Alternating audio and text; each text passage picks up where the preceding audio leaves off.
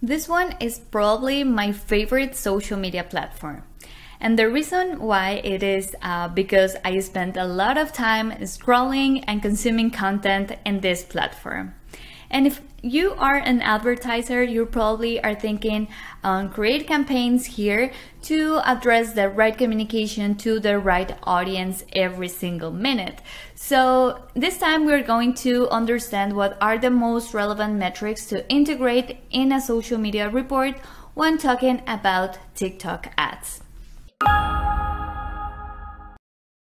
With this report, you can understand and visualize the most relevant metrics to determine the success of your TikTok ads campaigns.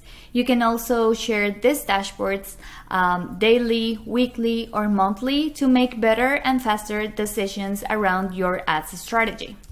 This TikTok ads overview report for Google Data Studio is comprehensive and it covers from the most meaningful information around what are the contents and its performance and obviously the performance in terms of cost and spend. This template contains a conversion funnel here where you can see the money or the budget that you have and how it uh, how it has been spent and also the impressions obtained and obviously the conversions. Then you can also see the audience that you are targeting, the gender of your um, consumers of the content and obviously the impressions by age. Here you also have information about the content itself. So here you have the reach of the content and you also have video play actions and this metric that is too relevant for me and this is the average video play.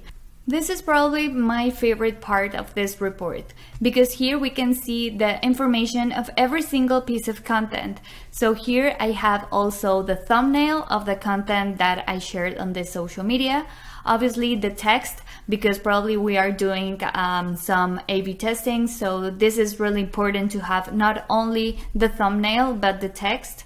Also, the impressions obtained by every or by a specific piece of content also have uh, clicks, cost, and impressions. And obviously, you can display cost, clicks, impressions, campaign objectives.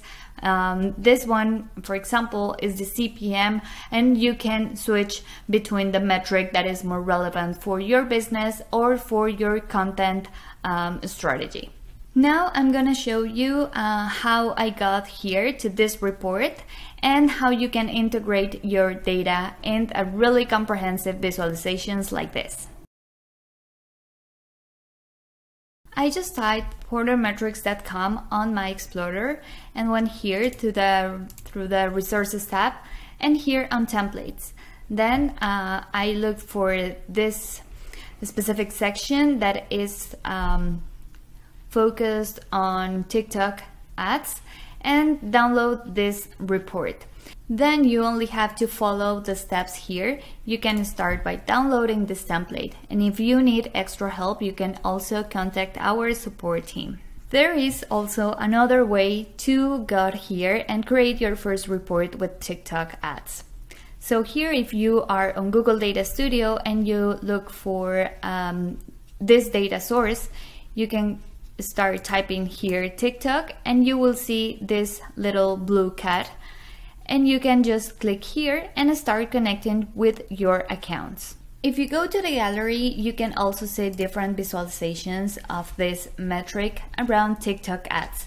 So here, if you go and explore, you will see there are different uh, visualizations you can use to get inspired and obviously if you want to save time when creating your first report. There is one thing more. With Google Data Studio, you can integrate different data sources. For example, I have here different social media. I integrated here um, some information about my, my TikTok ads, and this is the perfect transition to explore our next connector, Twitter.